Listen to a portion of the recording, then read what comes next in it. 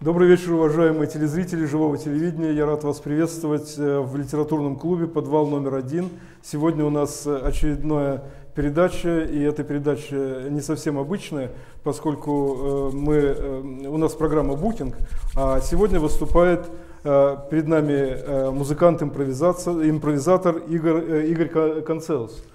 И, э, но, правда, я должен сказать, что Игорь не только э, музицирует, но он делает многое другое. И самое главное, э, я познакомившись с ним, убедился, что он интересный философ и даже написал книгу. Но мы об этом поговорим позже. А сейчас мы приступаем, собственно, к знакомству с Игорем как с музыкантом.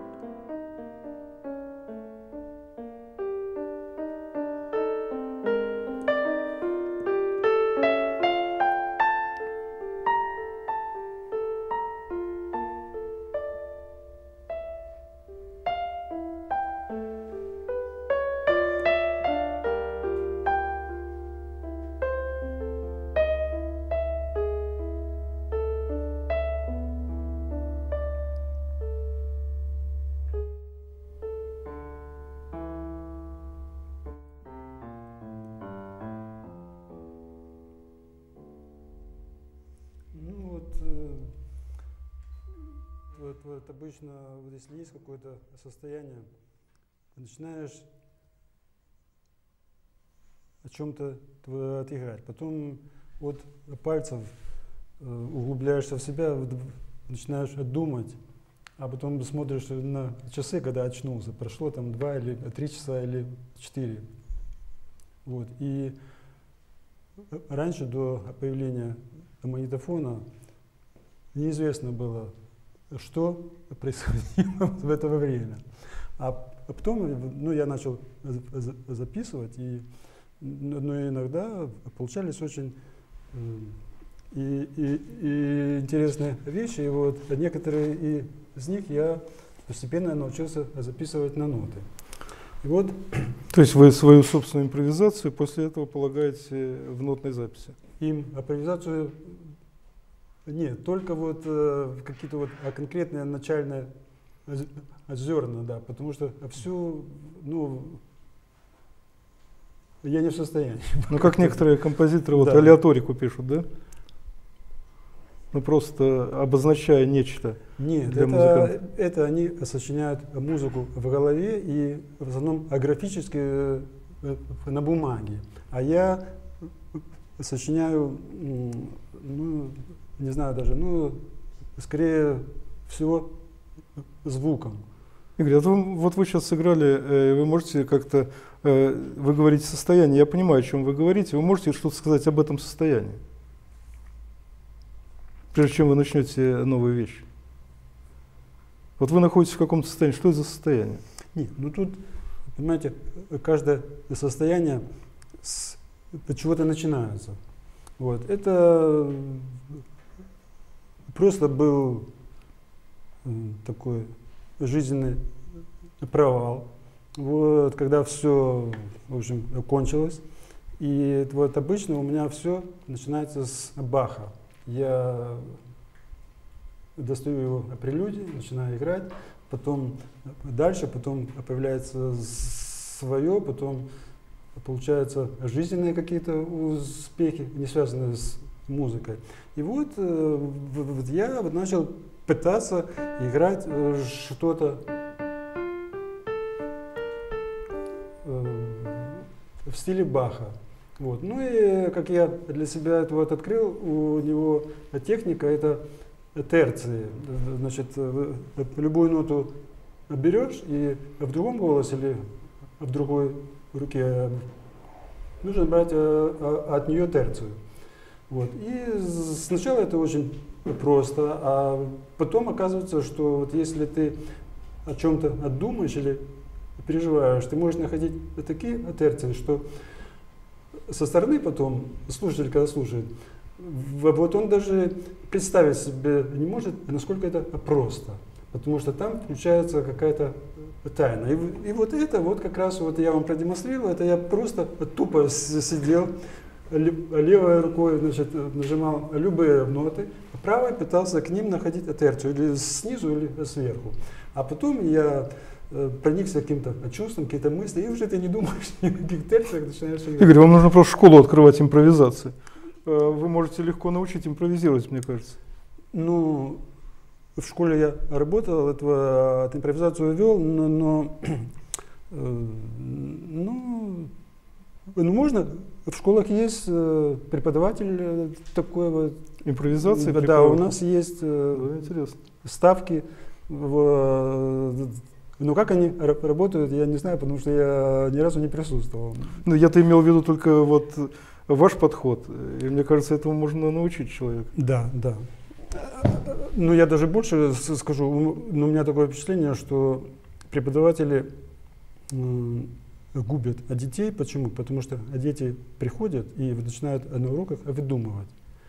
Преподаватель, так как он должен э, ну, к определенному числу, там четверть заканчивается, он, у него есть программа, какие произведения ученик должен выучить. Если он будет поощрять ученика, он же не выучит эти э, пьесы. Вот, и он вот, вынужден ему, ну вот как у Битструпа, помните, да? да? Вот, он значит, вынужден ему по рукам бить, чтобы он не импровизировал, а чтобы он учил это. Да. И а, добивает у ребенка любовь к музыке. Так. Ну вот я сейчас э, хочу показать вам одну вещичку.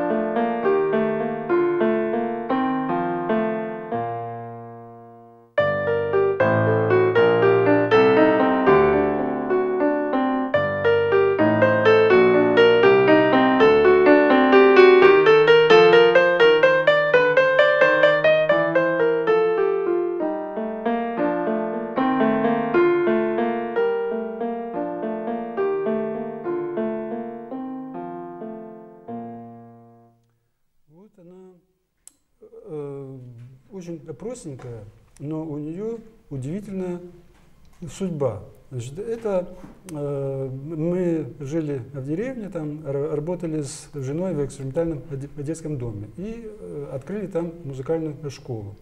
И вот там была девочка одна, звали ее Юля. Вот, она занималась по классу скрипки. И вот, ну и Играла она очень слабенько так, но какая-то она была вот такая э, очень душевная, очень э, мягкая такая, и мы ее очень любили с э, женой. А она была маленькая, вот такая пухленькая. И вот придумал для нее вот такую пьесу. Первый раз вообще а, а в жизни для человека вот специально. Я так ее назвал для Юли. Ну, я ей переписал, она выучила эту э, пьесу. Ну и все. А работали же мы в деревенской школе. У нас были деревенские дети и дети-сироты. Но они очень трудные. Там да, с, с музыкой заниматься очень тяжело. А я вел э, фортепиано и у скрипачей вот, вот, вот э, часы общего фортепиано. Ну, естественно, это же не обязательный предмет. И они там ничего не учили вообще. Ну так, еле-еле. И вдруг я смотрю, что все все выучивают и, значит, и смотрят как-то на меня так, и так, значит, я думаю, что случилось такое? И, наконец, один парень говорит, Игорь Ильич, а вы вот э, Юльке придумали, а нам, значит, мы так стараемся, значит, мы все учим. Да, значит, вы для, а, а нам, значит, вы знаете, сколько я не старался, я придумал. И прошло 15 лет, и эта история получила потрясающее продолжение. Ну, не секрет же, что одидомовские дети часто, в общем, там, приключения разные, да, и вот э, один из наших воспитанников попал в тюрьму, ну, за воровство там, на даче грабил. И я его потом встретил после уже зоны, ну, он отсидел, по-моему, два года или полтора. И он мне сказал удивительную вещь, которая меня просто потрясла. Он у нас учился по классу скрипки.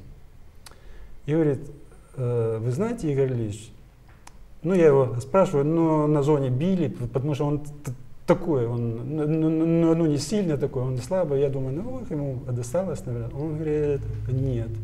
Я говорю, а ну как что? Игорь Ильич, по скрипке не помню ничего, но вот эту пьесу для Юли я запомнил. И меня каждый вечер просили играть. Представляете? Я был просто потрясен. И он э, ну, вот вышел там вот за счет этой пьесы, представляете? Я был просто потрясен. И а дальше, значит, в моей жизни, ну, я думаю, вот, э, ну, много было коллизий, там, разводы, я потом в монастыре жил, в общем, э, ну, чуть уже не скатился до обродяжничества. И когда жизнь подравнялась, я начал ее вот, вот опять уже э, заниматься. Вот, и но она дома, ну, когда я ее играю, естественно, перед глазами у меня проходит вся жизнь. И вот, вот а давайте, может быть, мы сейчас попробуем. Вот это я вам играл пьесу, а это вот вы сейчас попробуйте представить, как она звучит, когда вот э, музыкант сидит э, сам дома. Вы хотите, чтобы я это представил, или вы сыграете? Нет, нет я сыграю. А.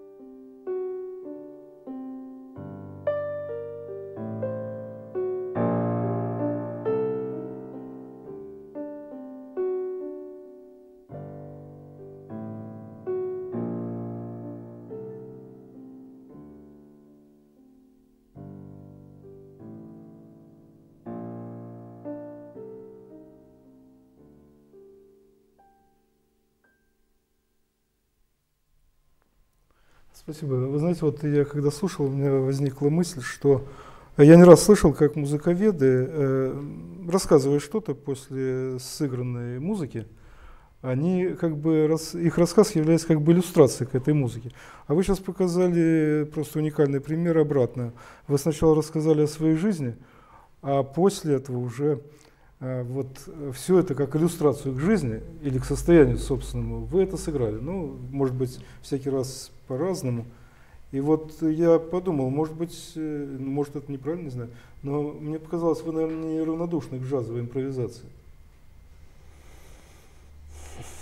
Ну, ну, ну да, но немножко это, э, ну, ну тут есть такое, что, э, ну вот я заметил и многие музыканты говорят, что когда начинаешь день с Баха, получается все. Когда начинаешь день с джаза, потом не получается ничего. Да, интересно. Это у всех? Ну, ну, у всех, с кем вы сталкивались? Да. Ну, я сомневаюсь, что многие из моих знакомых джазменов день начинают с Баха. Мне кажется, они импровизируют просто постоянно. Так, мы сейчас перейдем к джазу, я так понял. Нет, я не знаю. Э, а вам есть что рассказать? Ага.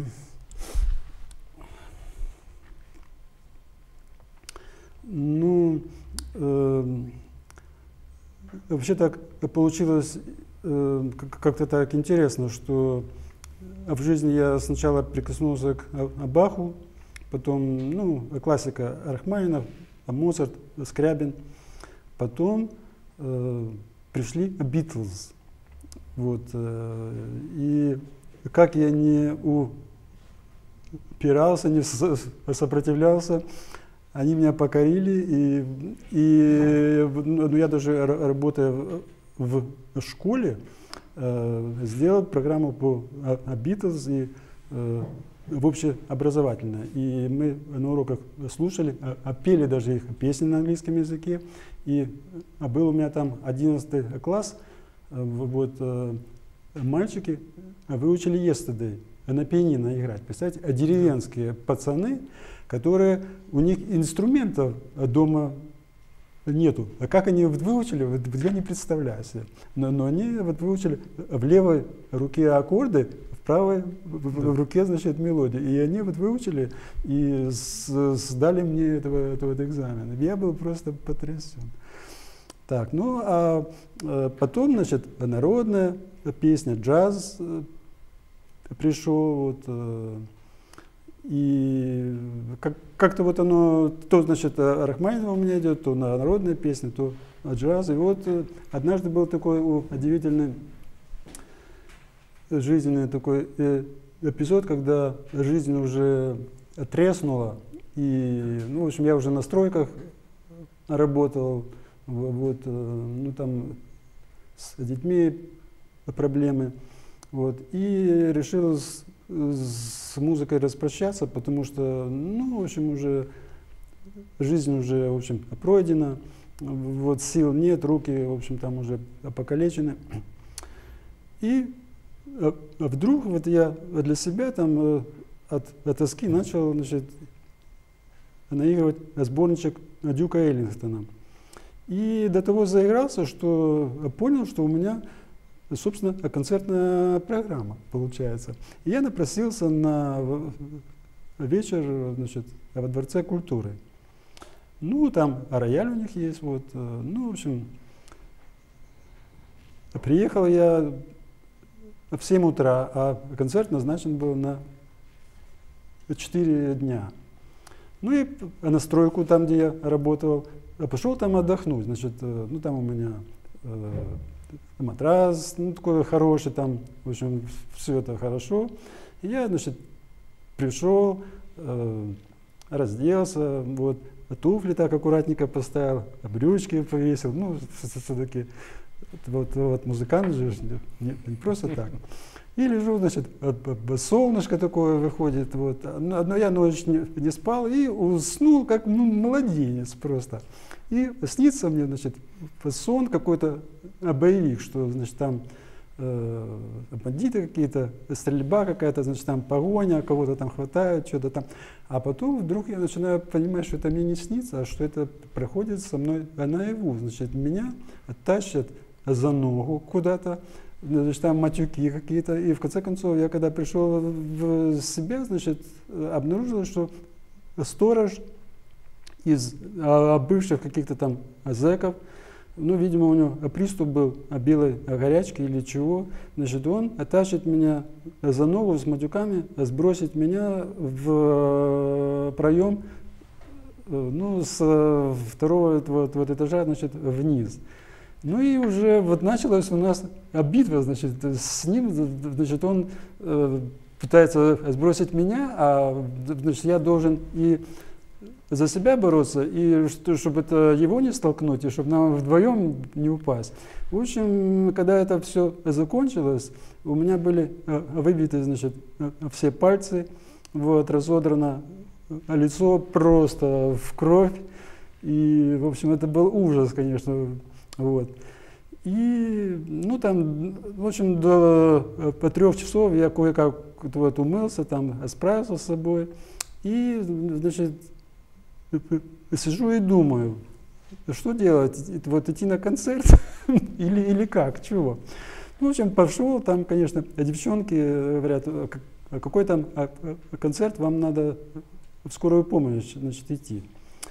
И я так подумал, что вот я должен сейчас, значит, выйти на сцену и испытать, значит, позор для того, что, чтобы навсегда покончить с музыкой, потому что так же невозможно. Значит, пять лет на стройках, потом значит, опять. Это все, все начинается только ты, ну, ну там заиграл, вот, вот жизнь, а вот опять все, да. Я решил, что нужно покончить с этим раз и навсегда. И вышел на сцену.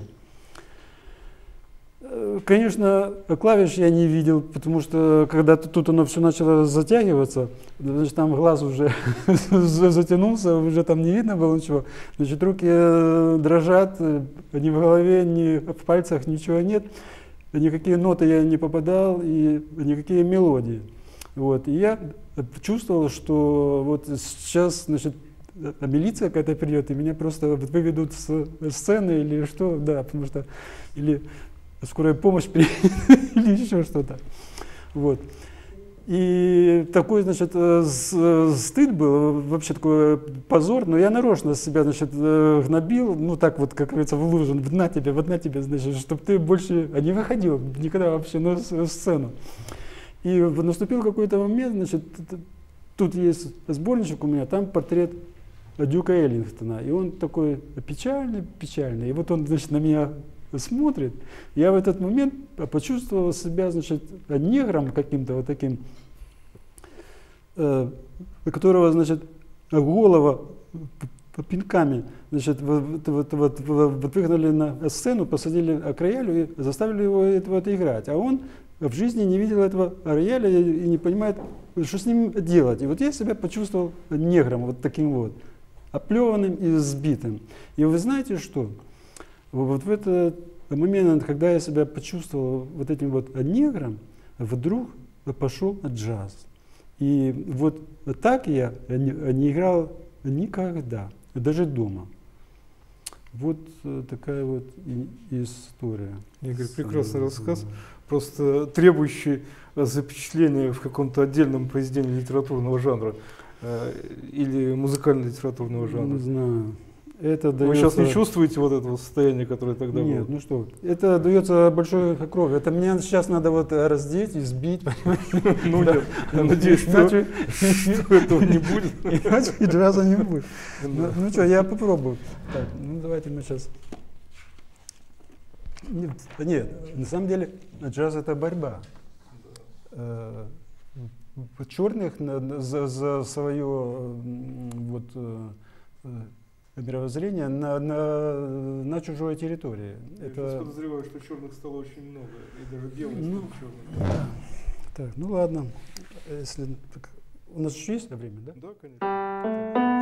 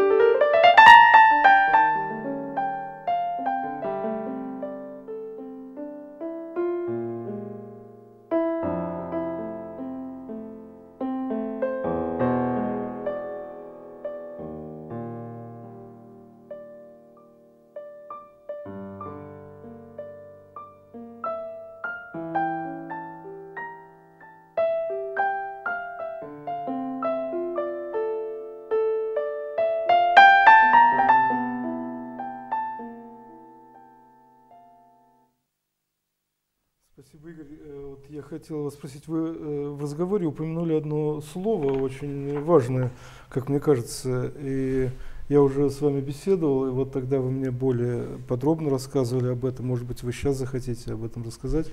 Э, вы сказали про сиротство. Вот меня это интересует в связи с тем, что вы думаете о таланте, композиционном музыкальном таланте.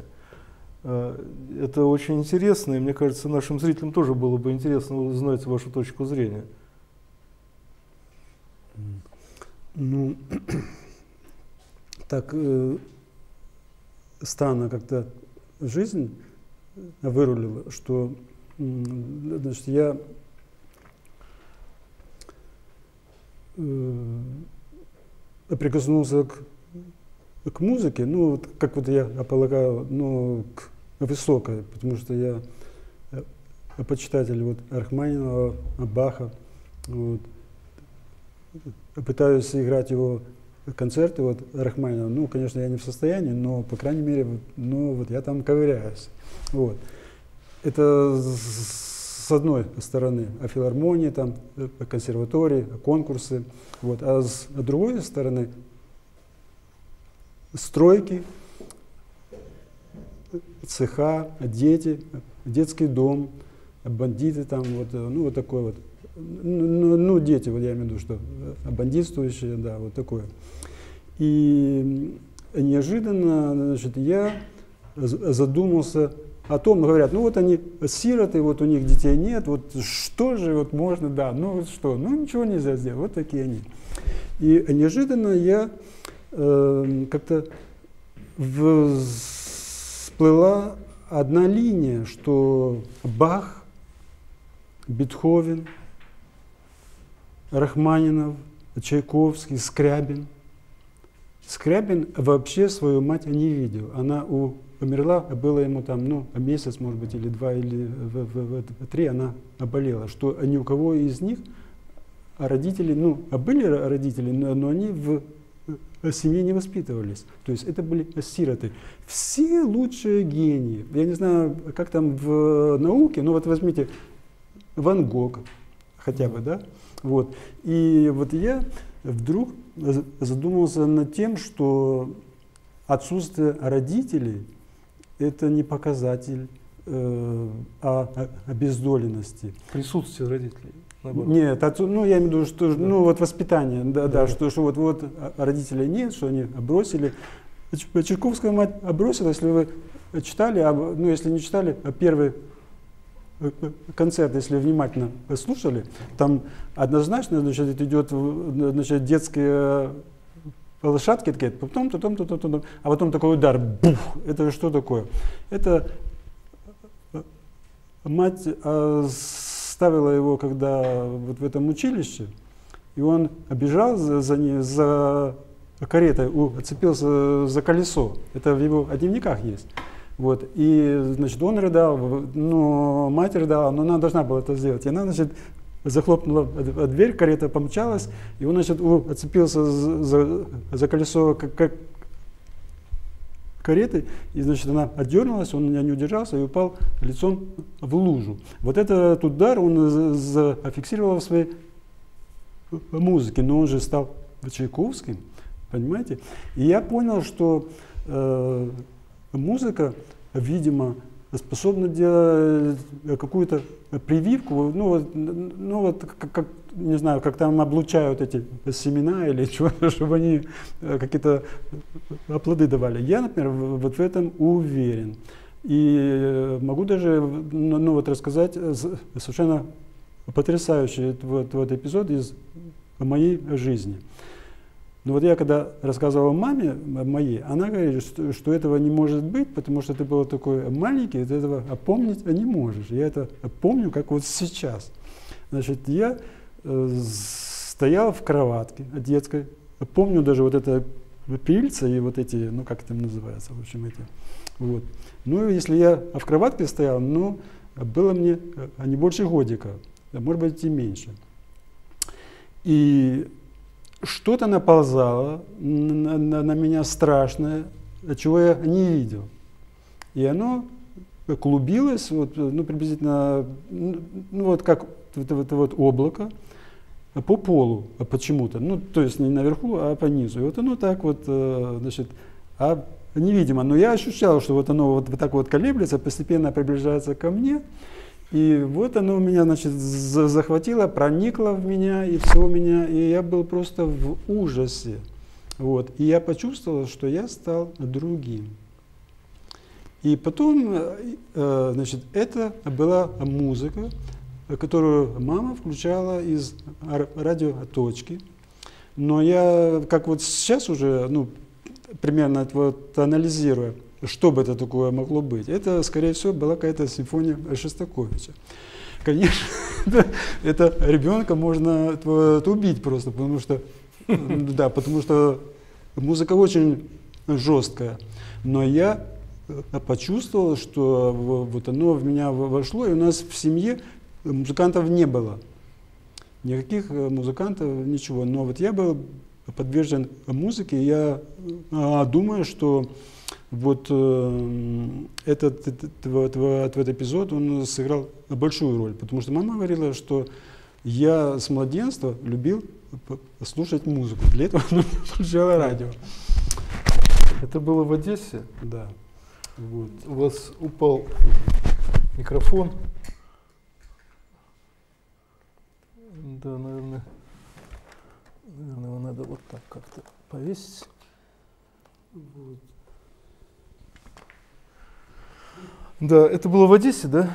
Да. да? Э, а вы, у вас какие-то другие воспоминания об Одессе есть, кроме вот этого воспоминания? Да, но у меня есть э, потрясающие совершенно воспоминания. Я э, пел в хоре Дворца пионеров.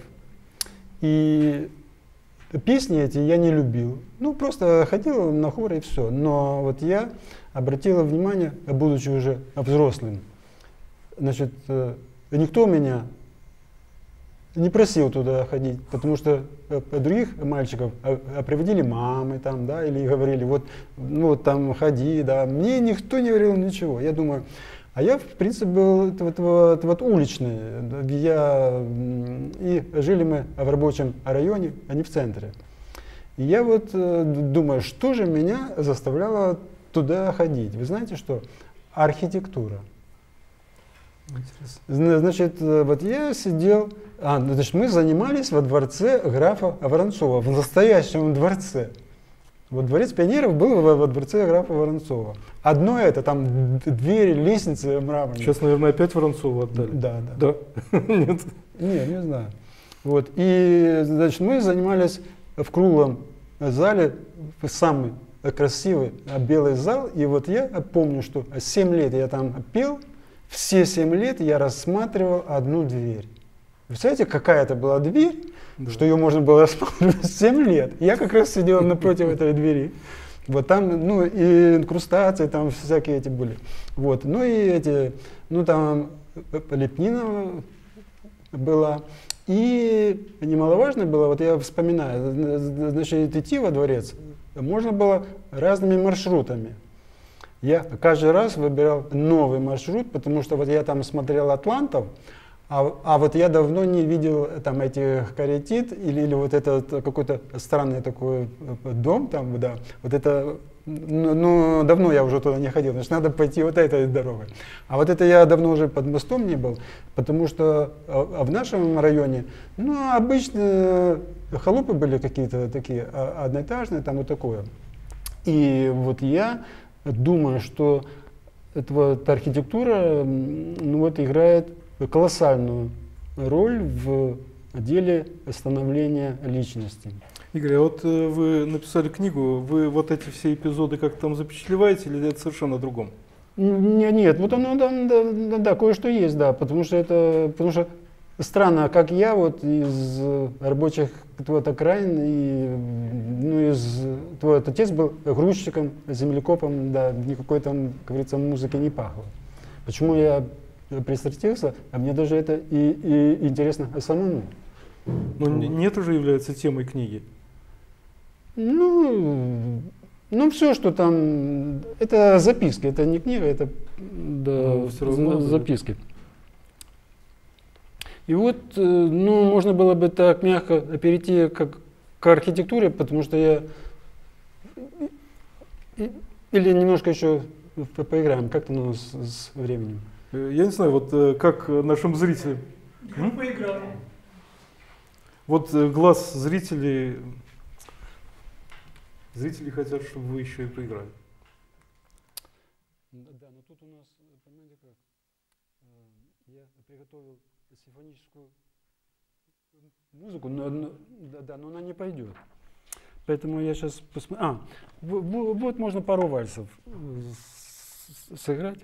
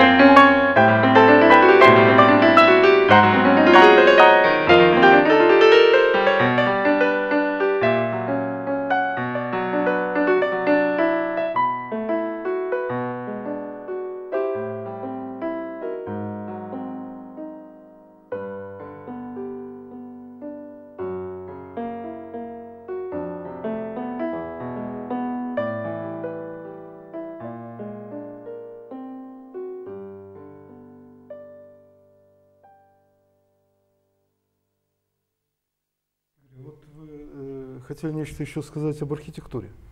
Да. Может быть, вы э, расскажете об этом хотя бы? Да, да, вкратце? я думаю, что это нужно было бы сделать. Сколько еще время? Минут 10 есть, нет? Да, даже больше. Да. Значит, вот как и интересно, что работая в детском доме, вот в этом, ну, в школе, я преподавал предмет мировой культуры. И, естественно, вооружился программами всякими. И, значит, смотрю, эта программа не идет, я другую беру, э, не идет третью, четвертую, пятую. И, в общем, я понимаю, что с детьми ни по какой программе, тем более в детском доме, заниматься невозможно. Почему? Потому что они слово архитектура учились произносить два года. И, и я понял, что, э, что, что они хорошие дети. Вот. А причем тут что, что человек, который э, может произносить слово э, архитектура, он, ну, получается, хороший, а который не может произносить, он плохой. Я понял, что это не так. И вот начал ис- искать, как же их, как говорится, на крючок зацепить. И понял, что нужно им что-то дать в руки. Спрашивается, что можно дать э, детям в, в руки на, на предмете э, э, мировая культура. И я начал сначала рисовать, потом цветное стекло, вот. но этого было мало. И я таким образом вышел на кубики детские. И потом, в общем, так увлекся, вот, что разработал целый набор э, э, архитектурный. Вот. И можно посмотреть, я не знаю, как бы это сделать. Ну, показывайте и Да. продемонстрируем, это будет видно. Нет, лучше, э, знаете как, вот лучше я вот так вот буду ставить, Да. а вы мне будете открывать. Э, И наши зрители что-нибудь, э, наверное, увидят крупным планом. Да? М, Да. э, Ничего, ничего. не, не оторвитесь только Да. от микрофона. А вот я буду, Да. может быть, комментировать. Вот это, э, ну вот, это, значит, башня с, э, с лестницей, а это вот э, Нотр-Дам, как это вот возможно это сделать. Ну вот на такую постройку у меня э, приблизительно три месяца вот, вот уходит. Но, но это для того, чтобы ее придумать, а построить ее быстрее мо- можно. Вот это вот разные архитектурные фантазии. Вот. К сожалению, у меня профессионального это вот аппаратуры нет, поэтому вот это вот индийская тематика. Вот, Это дети все сами делают. не- ну, вот в, основном я, но некоторые постройки, значит, у нас были обязательные, что, ну, там архитектура из ислама, Нотр-Дам и э, греческий храм, это, это вот у нас э, были четвертные работы за четверть, это они а, вот обязаны были делать. И в- в- вот интересно еще, что на э, греческих храмах я попытался э, сделать э, э, такую вещь. Там же, ну, вот есть колонны, да, и можно делать, ну, к примеру, 5 колонн в длину, 2 в ширину, или э, в длину 7, в ширину 3 или 4 или 5, да. И я на на доске нарисовал числа и э, говорю детям, что выбирайте любые, вот, и, значит, по ним строите. И вот кто выбрал там числа из золотого сечения, я им говорю, вот у этого и у этого будут самые красивые храмы. А это вот они еще не начали э, строить. Они говорят, нет, никогда в жизни, потому что я лучше строю, чем он. Я говорю, хорошо, посмотрим. Так вы знаете, у них удивления не было предела. Они говорят, а откуда вы могли знать? И ну, э, таким образом, значит, я их э, ну, вот, э, самоуверенность в жизни чуть-чуть, как говорится, выдернул из них вот эту почву, потому что вот я знаю, вот я все, вот я сильный. И чуть-чуть придвинул их ну, к математике, потому что они с математикой у них там да, проблемы были. Так что вот такая у нас была работа. Вот этот самый греческий храм, вот, вот они делали разные там, да, модификации из него. Узоры всяческие, вот это э, там монастырские комплексы, вот э, современную архитектуру можно делать. Этого тоже Нотр-Дам, это вот уже другая модификация, их можно делать разные, там, потому, что, потому что задачи нет такой, а делать один к одному. Это просто фотографию берешь и срисовываешь. А это нужно самому делать. Вот понять, как это делается. Вот. Ну, вот это, это набор весь, он э, стоит 220 деталей на, на торце этого, от одного бруска. Вот этот брусок, вот они стоят. Это римская арка, ну и некое подобие пантеона. Ну, мы также делали этот э, Колизей натягивали тентовую крышу, им так это нравилось, они ножницы приносили с собой, нитки, бумагу. Значит, оказывается, что в древнем Риме над вот этим огромным стадионом там была тентовая крыша. Вот, так что вот это им очень э, нравилось. Вот это, э, но, но это вот одна из лучших моих построек в восточном стиле. А это вот э, супрематизм.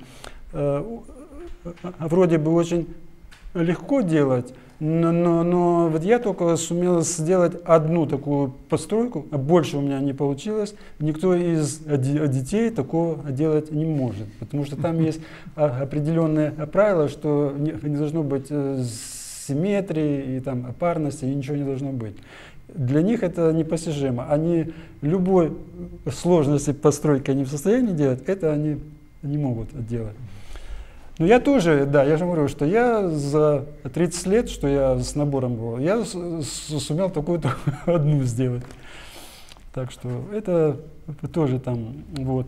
Потом э, совершенно неожиданно, э, ну, ну вот я решил попробовать ну, не только индийскую архитектуру, потому что я был, э, ну, в общем, поклонник индийской музыки. А я потом э, решил попробовать архитектуру православия делать. И до того дошло, что у меня, в общем, на моих построек 80, наверное.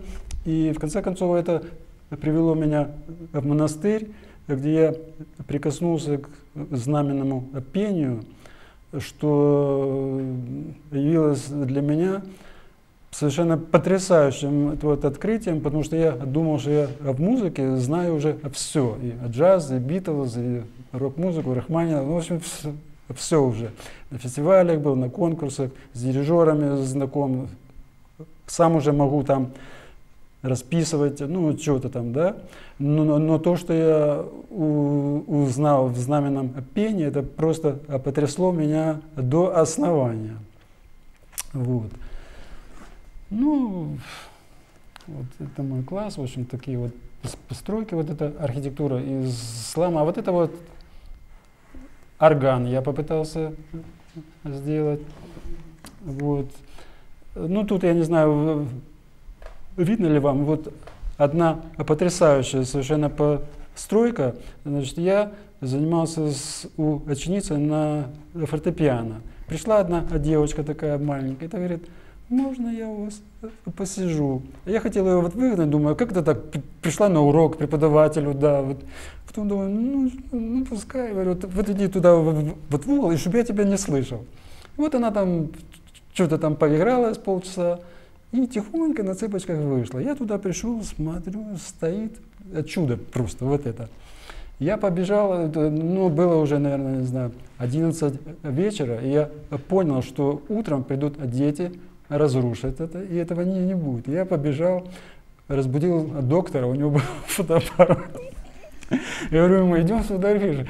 Ну что, нельзя утром? Я говорю, нет, утром нельзя. И он, значит, вот такой добросовестный человек был, он ну, в общем, тоже у него было 10 детей таких на воспитании. Он меня понял, он взял фотоаппарат, сфотографировал. И вот таким образом оно у меня осталось. Вот. Ну, тут, тут не сильно интересно. Это вот э, я работал в школе. А потом, закрывайте, а потом я, в общем, из школы уже ушел и попытался в монастыре работать с детьми. Примерно по такой же вот программе. Ну, как говорится, до детей не дошло, потому что то там у них канализацию прорвало, то надо машину разгрузить, то еще что-то, то пить, то сторожить, то в колокол звонить. И я ночами, значит, сидел, и вот как они говорили, он там сидит ночами и, и играется в кубики. Вот покажите. Да.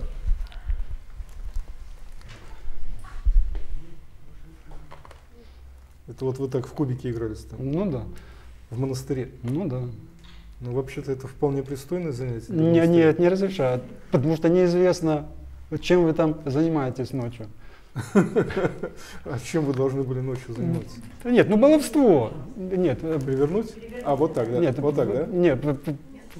А, все вообще, да? Нет. Понимаете, это же так? Э, монастырь серьезное заведение, а он там играется в кубики. Порочит, э, ну, как это сказать? Порочит монастырь. Ну да, да. Понимаете? А если бы вы просто сидели и наблюдали собственный пупок, это возможно? Ну, ну молишься да. сосредоточенно, это поощряется, да. Да, поощряется, да? Ну, конечно. А, ну вот паламисты, они все, да, они все обязательно Передавайте там. наблюдают собственный пупок. И это поощряется. Так, ну тут не все. Да. По-моему, может Потому что там идут... Это вы все сами собирали уже, Ну, да? конечно. Вот на, на, на одну большую постройку, э, понимаете как, вот, допустим, вот если это посмотреть на нее, это ее за 10 минут построить можно. Но для того, чтобы придумать, потому что... Это не мавзолей Ленина случайно? Нет, это... Ну, я попытался этого, этого обыграть мотив центральной узбекской библиотеки. Слушайте, вот. ну, ну, ну, посмотрите. Ну, ну, есть чуть-чуть, да. Да, да. чуть есть. Есть. Ну, ну, так, возьмите, пожалуйста, посмотрите, передайте дальше. Вот это какое-то чудесное просто Вот, вот.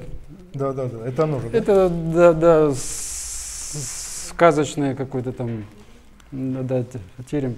Так, что, что это у нас такое? Это тоже. А, ну, это вид там или сзади, или. А это вот, э, это уже не терем. Это да. что-то другое. Это колокольня. Колокольня, да. И вот это тоже колокольня. Да, да, ну все, ну, дальше не надо. как настоящий. Потому что это, это архитектурные там секреты уже идут. Да. да. Это я выдал секрет, выходит. Да.